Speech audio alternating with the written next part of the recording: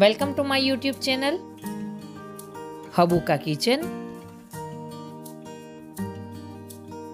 आज हम different style से मटन कोरमा बनाएँगे। ये बहुत ही अमेजिंग और बहुत ही टेस्टी रेसिपी है। तो इस रेसिपी को आप एक बार ज़रूर ट्राई करें।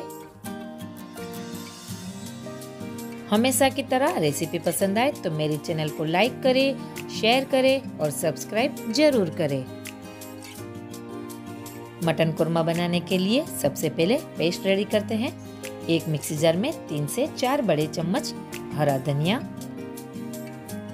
पाँच से सात लहसुन की कलियाँ, पाँच से सात छोटे टुकड़े अदरक के, पाँच से सात छोटे टुकड़े सूखा हुआ कोपरा। आप फ्रेश कोकोनट का भी इस्तेमाल कर सकते हैं। चार हरी मिर्च और दो बड़े चम्मच जितना पानी ऐड करके इसकी स्मूथ पेस्ट बना लेंगे।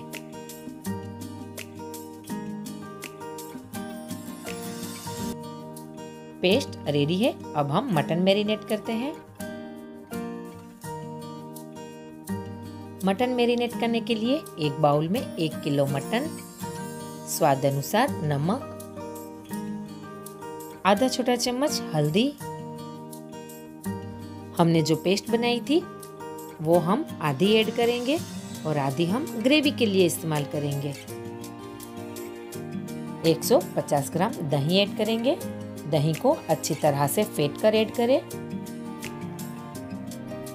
मटन को अच्छी तरह से मिक्स करके इसे दो घंटे के लिए मैरिनेट करेंगे। मटन को दो घंटे मैरिनेट करने के बाद एक कुकर में पाँच से छः बड़े चम्मच ऑयल एक बड़ा चम्मच जीरा, दो बड़ी इलायची, तीन से चार छोटी इलायची और तीन से चार छोटे टुकड़े तज के ऐड करेंगे। इसे एक से दो मिनट के लिए खुशबू आने तक फ्राई करेंगे। अब हम इसमें दो मीडियम साइज़ की बारीक कटी हुई प्याज ऐड करेंगे।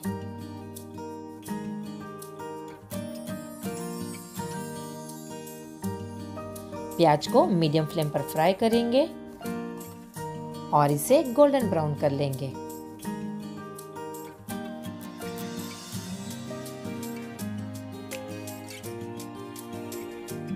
प्याज गोल्डन ब्राउन हो गई है। अब हम इसमें बनाई हुई पेस्ट ऐड करेंगे।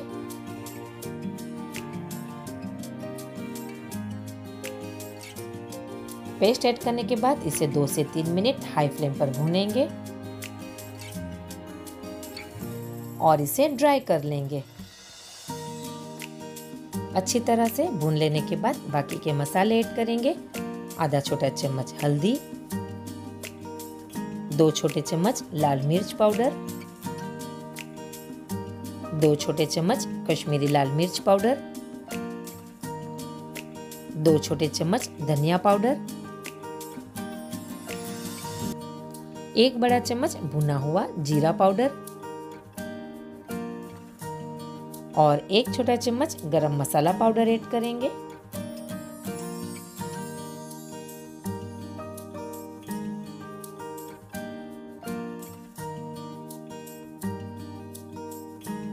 दो से तीन बड़े चम्मच जितना पानी ऐड करेंगे। पानी ऐड करने के बाद इसे अच्छी तरह से भुनेंगे और इसे ड्राई कर लेंगे।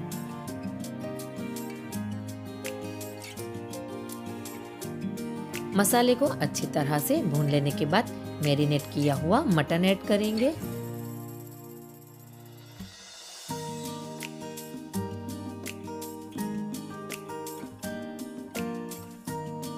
और मटन ऐड करने के बाद इसे हाई फ्लेम पर तीन से पाँच मिनट के लिए भुनेंगे।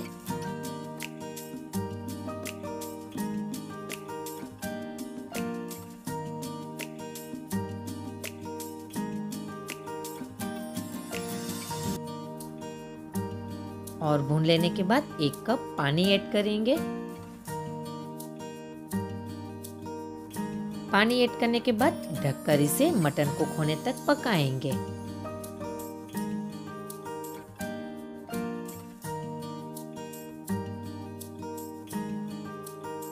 मटन अच्छी तरह से कुक हो गया है और इसकी ग्रेवी रिच और टेस्टी बनी है।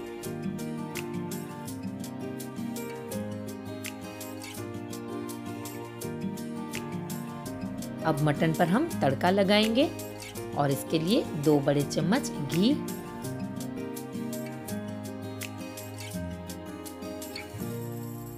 घी गर्म हो जाने के बाद एक छोटा चम्मच कसूरी मेथी और एक चुटकी गरम मसाला ऐड करेंगे।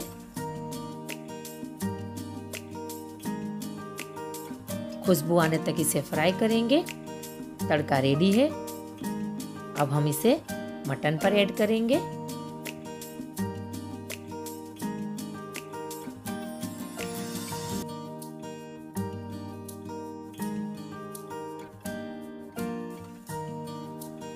अब इसमें एक बड़ा चम्मच नींबू का रस ऐड करेंगे। दो से तीन बड़े चम्मच बारीक कटा हुआ हरा धनिया।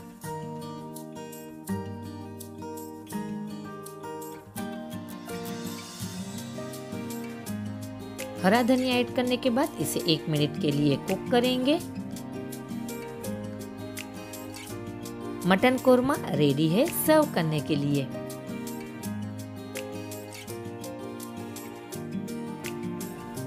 अगर आपको मटन कोरमा की रेसिपी अच्छी लगे तो आप इसे एक बार ज़रूर ट्राई करें। और मेरे चैनल को सब्सक्राइब ज़रूर करें। Thank you for watching